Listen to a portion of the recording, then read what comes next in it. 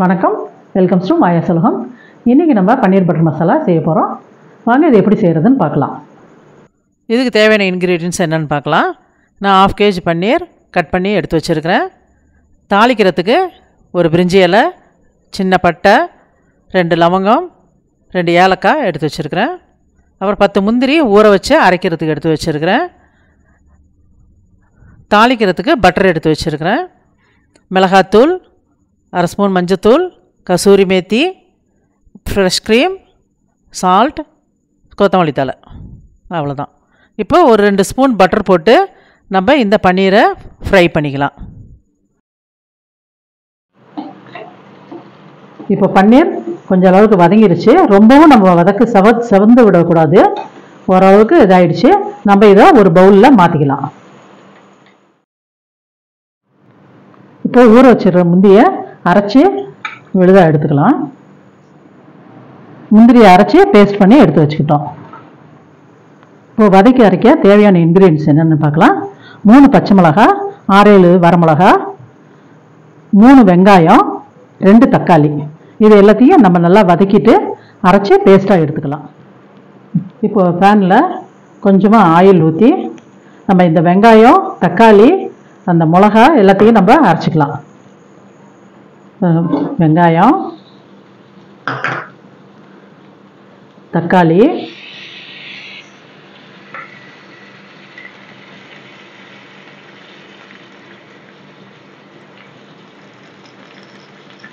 மூணு பச்சை மிளகா ஆறு வரமிளகா ம் எல்லாம் சேர்த்து நம்ம வறுத்துக்கலாம்.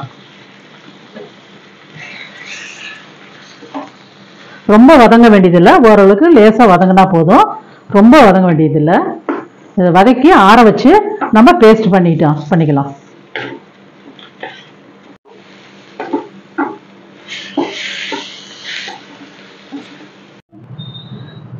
இப்போ இது ஆறிடுச்சு. இதை ஒரு மிக்சி ஜாரில் மாற்றி நம்ம பேஸ்ட் பண்ணி எடுத்துக்கலாம். இப்போ நான் இதை பேஸ்ட் பண்ணி எடுத்து வச்சுக்கிட்டேன். இப்போ நம்ம பன்னீர் பட்டர் மசாலா செய்ய ஆரம்பிக்கலாம்.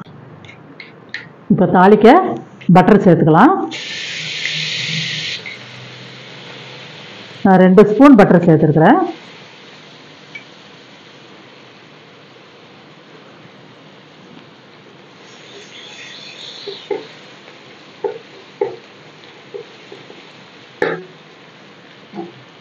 பட்டர் மெல்ட் ஆயிடுச்சு. இப்போ அதில் பிரிஞ்ச இலை ஒரு சின்ன பட்டை ரெண்டு ஏலக்காய் மூணு கிராம்பு.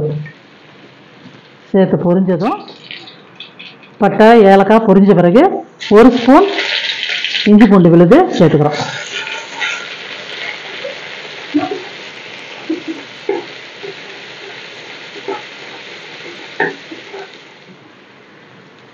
பச்சை வாசனை போனதும் நம்ம அரைச்சி வச்சுருக்க விழுதை இதில் சேர்த்துடலாம். இப்போ இந்த மிக்ஸி ஜார்லேயே கொஞ்சம் தண்ணி ஊற்றி அதில் ஆட் பண்ணிக்கிறேன். இப்போ இப்போது இந்த டைமில் நம்ம கொஞ்சம் மஞ்சத்தூள் கரம் மசாலா தூளும் சேர்த்துக்கலாம்.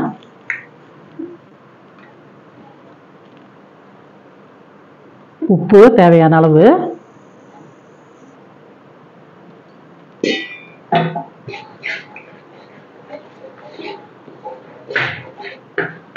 இதில் இன்க்ரீடியன்ஸில் நான் மல்லித்தூள் சொல்ல மறந்துட்டேன். மல்லித்தூள் ஒரு ஸ்பூன் இதில் சேர்த்துக்கணும். சேர்த்துட்டு இதை நல்லா கலந்து கொடுக்கணும். நம்ம இதில் அரைச்சி வச்சுருந்த முந்திரி பேஸ்ட்டையும் சேர்த்துக்கலாம். இதுக்கு நம்மளுக்கு ஹோட்டல் ஸ்டைலில் வரணும்னா கொஞ்சம் நம்ம சுகர் ஒரு ஸ்பூன் சேர்க்கணும். அப்போ தான் டேஸ்ட் கொடுக்கும் இதுக்கு. இப்போ நல்லா கிண்டி கொடுத்து ஏன்னா அடி ஒட்டும் முந்திரி பேஸ்ட் போட்டிருக்கிறதுனால அடி ஒட்டும் நம்ம வந்து கொஞ்சம் கலந்து கொடுத்துட்டே இருக்கணும்.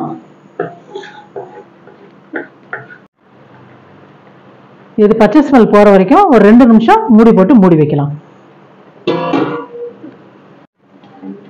ஓகே இப்போ ஒரு பத்து நிமிஷம் ஆயிடுச்சு. நம்ம திறந்து பார்க்கலாம். ஓகே ஆயிலெலாம் பிரிஞ்சு வந்திருக்குது. இப்போ இந்த நேரத்தில் நம்ம பன்னீரை சேர்த்துக்கலாம்.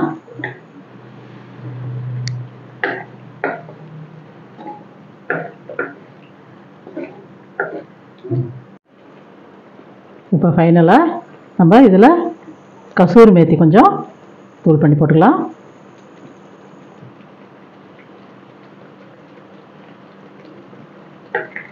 நல்லா கலந்து கொடுத்துட்டு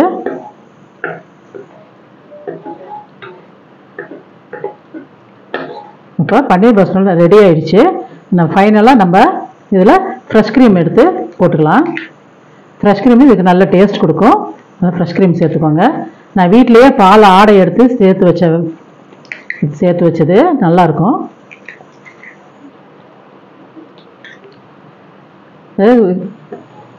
இது ரிச் லுக் கொடுக்கும் உங்களுக்கு. அதனால் கட்டாயமாக வந்து ஃப்ரெஷ் க்ரீம் சேர்த்துக்கோங்க. ஃபைனலாக கொத்தமல்லி தலை கொஞ்சம் தூவி நம்ம இறக்கிடலாம்.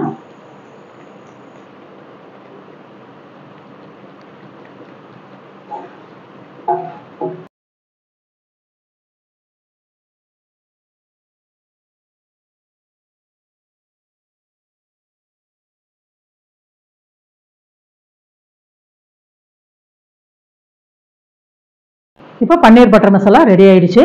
இதுக்கு சப்பாத்தி நான் ஃபுல்கா எல்லாத்தோடையும் சேர்ந்து சாப்பிட்றதுக்கு சூப்பர் மேட்சாக இருக்கும். நீங்களும் செஞ்சு ட்ரை பண்ணி பாருங்கள் நீங்கள் ட்ரை பண்ணி பார்த்துட்டு எப்படி இருக்குன்னு கமெண்ட் பாக்ஸில் கமெண்ட் பண்ணுங்கள் நன்றி வணக்கம்.